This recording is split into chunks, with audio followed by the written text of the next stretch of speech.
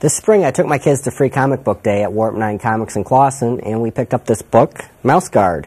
And while I was at the comic book store, a lot of people were talking about how great the Mouse Guard comics are and how we have such a great artist who's behind them, who's a local man. He's from Ferndale, and I'm pleased to have Dave Peterson here to talk a little bit about uh, his career. Thanks for being on the show yeah, today, Dave. Thanks for having me.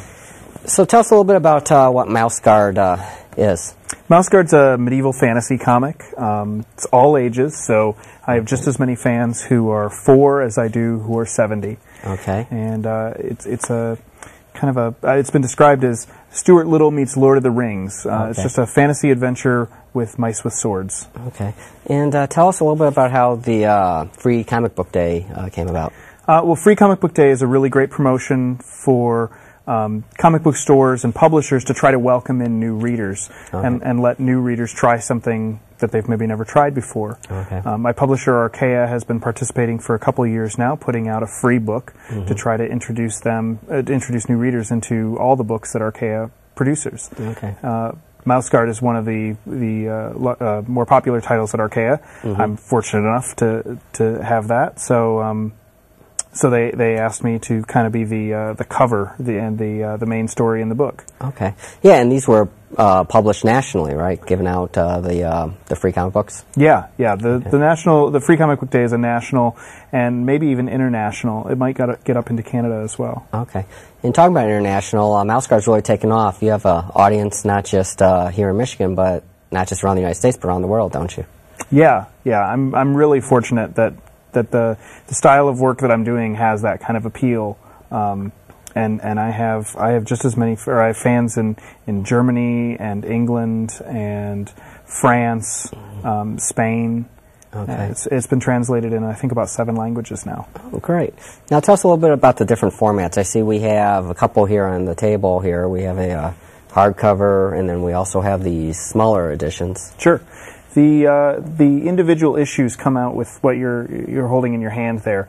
Uh, it's a 24 page chapter, um, kind of like an old time movie serial. It just gets you uh, warmed up and then leaves you with a cliffhanger at the end.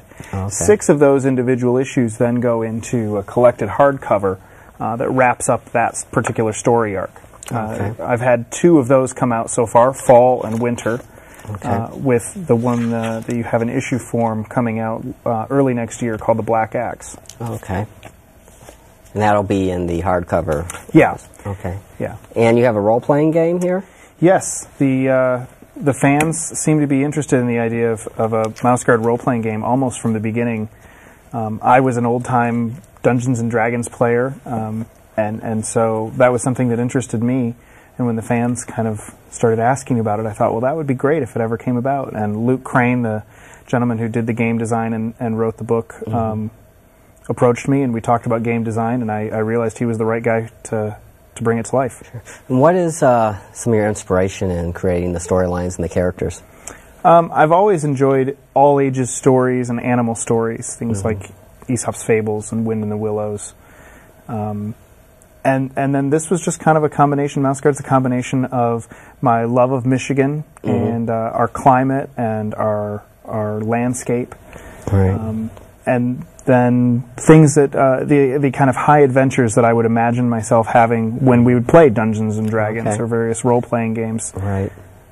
And the uh, characters, it's all from an animal's perspective, but almost if they, as if they were humans themselves. Is that right? Yeah, I mean they they, they walk on ha- hind legs. I try to make them as as animalistic as possible, so that you really do believe that it's a mouse that has all the properties of being a mouse. But Right. I have to be able to get them to be able to walk on two legs, so that they Yeah. can use their hands to do things, and they walk and talk. And Right. So there's a little bit of uh, anthropomorphizing going on, but Right. But for the most part, yeah, they're supposed to be they're supposed to be very much still little little Right. squeaking mice. Now, when people think of working on comic books, I think a lot of them might think that you need to work in uh, Manhattan and New York, or maybe out in California and LA, or uh, San Diego, where Comic Con is. But uh, you're able to do a lot of stuff here from here in Michigan. Oh yeah, I'm I'm able to do all of my actual producing here, um, I, and I, really I could do it anywhere. I choose to do it here because I, I love Michigan, and this is this is where I want to live. Right. And um, so, what are some other things you have coming up uh, in regards to your uh, comic book career here? Uh, I have a couple more appearances. Uh, when I do get out and travel, I, I do have to go nationwide and sometimes even overseas to uh, to help promote the book and Okay. and meet with fans and, and do all that kind of thing. So uh, I have a convention coming up in October uh, at the uh, in Dearborn. Okay. Called Detroit Fan Fair. Um, I've got another October date in New York uh, Okay. for the New York Comic Convention, Okay. and I'm going to be going overseas overseas to the Leeds Comic uh, Festival called Thought Bubble Oh, in okay. November. Great. And um, if someone wanted to purchase one of these books, uh, you know, do you go to the local bookstore, your local comic book store? Can you go online? Is there digital editions? I know that's starting to become more popular uh, with things like comiXology and, and stuff like that online. Yeah, all of those are correct. You can you can go to your local comic book store and get individual issues or the collected editions. The collected editions are available through uh, online stores and and big box retailers. And then now, yeah, digital's breaking through and becoming a uh, an actual viable way that people are reading comics. Okay. Now, um, you know, I, I think people think of when you're drawing comics, you get a big notepad out and you take the ink pen and you're scrawling things out. Uh, how is that actually in reality now we're in more of a digital age? You still do a lot of the hand drawings or do you use uh, computers more? Can you kind of walk us through how you do a scene? Sure. I, I do a little bit of a mix of both. Um, I'm still very traditional in that I like using pencils on paper. I like the feel of the lead on the on the paper. Um, but I'll do several sketches of the characters or the, the panel or page that I'm drawing um, for what I think it should be, and then I'll scan that and put it into a template on my computer that already has all the panel lines laid out. Okay. And that way I can resize individual characters or make any corrections if I drew somebody's hand too small or somebody's head too big. I can Okay. I can fix all of that. Uh, I'll then print out that corrected edition and put it on a light box uh, with my final comic paper surface on top of it. The light box allows me to see through the uh, the comic paper down Okay. to the rough, and then I use ink pens to uh, to ink in all the all the details and come up with the final art. Yeah. Um, you know, I don't think a lot of people realize that uh, comic books actually are an original American art form, uh, kind of like jazz was created here, so have, have comic books. Uh, what have been some of the things that have inspired you to actually get into this career path that you're in now? Well, I, I, I loved Eastman and Laird's Ninja Turtles when I was uh, about 11. Uh, that was the you know original. That was before the cartoon had really had really come out, and uh, I was reading X Men around that same time too. And uh, but there was something about Ninja Turtles, uh, seeing the names Eastman and Laird above the above the story, and that the turtles just seemed like such a weird a, a weird creation that I thought. It's obvious that these are two guys drawing this, where the X Men just seemed like Marvel turned to crank and X Men Yeah. comics came out. Right. Yeah. And uh, yeah, that, that seemed like a viable career, and I, I love storytelling. Okay. So this seemed like uh, a really a really neat option for combining words and pictures. Now, did you go uh, specialize in any programs at school, or did you just start uh, trying to get internships? How did you kind of break into the field? Um, I I went to school for fine art. Um, I originally thought I was going to do children's book illustration because when you look at the major superhero kind of comics, um, that's not really what my artwork looks like. And as much as I tried to make my artwork look like that, I just I never really could. Um, so I thought I was going to do children's books, and then a friend of mine uh, said, "Why don't you come to the local uh, comic convention in in Novi with me and set up?" Right. And, and I said, "Well, I, I don't really have a book or anything." He said, "That's okay. Neither do I." Okay. And, and just from there, I, I started putting out samples of, of the kind of ideas that I had, and people seemed interested in Mouse Guard, so it went from there. Okay.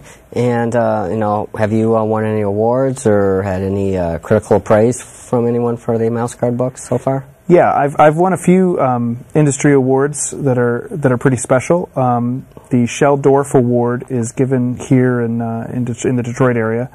Um, Shel Dorf is one of the original creators of the San Diego Comic Convention, but he also had a, a convention here in Detroit called Fanfare that's Okay. recently been revived. And with that, they decided to name an award in his honor. And last year, I won a, Oh, a few. Shel Dorf awards. Thank you. And and also the the big one that's kind of considered to be the Oscar of comics, uh, if there is such an equivalent, uh, Mm-hmm. Okay. the Eisner Award. And I, I've Okay. uh, I've managed to uh, fool people into giving me three of those. Oh, well, that sounds like a, a, lot of uh, critical praise then for, for, for the book there. And, uh, you know, looking at the success you've had now and be able to, to stay in Oakland County here and live in Ferndale and work out of uh, the city in your home, um, sounds like a great thing that people might want to aspire to, especially if you're younger and looking for a new career, and art's something that's in, interests you and important to you. Sure, and with Uh, any kind of book production, you can you can do it wherever you live, just as long as you have a way to scan it and get it off to the publisher. Right. So, what uh, tips would you give to someone, say they're watching this on TV now, and maybe they're in middle school or high school, or you know, kind of trying to decide what career path they want to get into? Uh, if they want to follow in your footsteps, uh, what would you tell them? Uh, I would I would tell them to make sure they draw every day. Uh, Okay. to keep drawing, don't give up. Um, there's lots of times that you're going to get frustrated with your own work and not feel like it's going the way you want. That's natural. right. um, and that it's okay to copy the people that uh, you admire, to look at their work and try to copy it or Okay. or mimic what they do. But there is a point where you're going to have to stop doing that, and that's kind of what separates the uh, the adults from the children in art is that you you at some point come up with your own artistic voice. Right. Okay. Good information there. I'm sure uh, some people will benefit from that. You know, one of the things I liked about your artistic, again, and we brought that up a little bit as you look through the books, is that, uh, like you said, it really has almost a children's uh, feel to it. And, uh, you know, what I like about with my kids is, is it's somewhat of an adventure story, but it's not too graphic or, or, Right. or too dark to not scare with them. But yet it, it's still enough of a mature storyline that I'm not like not interested in. Right, something that I can really yeah. sit down and, and share with my kids and say, hey, let's sit down and, and enjoy this book together. And I'm just not reading it to them. We're all all three of us are sitting there reading it together and having a good time. Thank you. I, I like the idea of all ages um, stories working in that way. That the kid might not be picking up on everything, um, but they're getting they're getting the important parts, and at the same time, the adult is is sticking with it. They're interested, it's, Right. and it's a genuine interest, and not just uh, I'm kind of I'm kind of reading this because my kid wants me to read this. Right. Now, I also um, have seen through your website that, and I know you're uh, on things like Twitter and social media, um, that uh, you also do commission work at the different shows and sometimes even through online if people are interested. Can you tell us a little bit about that? Yeah, pretty much it's just through uh, through conventions. When I'm at home, I really need to be working on mouse guard books. I, I seem to be perpetually behind Okay. uh, with where I'm supposed to be. But uh, when I'm at conventions, I can't work on pages for the books, obviously. So I do take on commissions, and it's it's fun to be able to have that connection with the fans. I'm doing a piece of artwork that's specifically for them, and a lot of times they're giving me some kind of uh, direction for what they want. Okay, and that's something they can frame up in their den or Sure, room. sure. And I get a lot of people asking me to do things like uh, uh, mice in love or at a wedding or something like that that they end up using as part of their Okay. wedding invitations. Or it's obviously an important part of their life, and that's a special, special privilege. Well, I really appreciate you joining us on the show today. And just to wrap up, uh, if someone wants to check you out online, uh, tell us a little bit about where they can find you um, on Twitter or on uh, your website. Uh, you can find me at mouseguard.net is the main site for MouseGuard, and I'm at MouseGuard on Twitter. All right, great. Well, thank you. Yeah, thank you. And keep up the great work. We really Thanks. enjoy it, and we're going to look forward to seeing your future editions of MouseGuard. Thank you.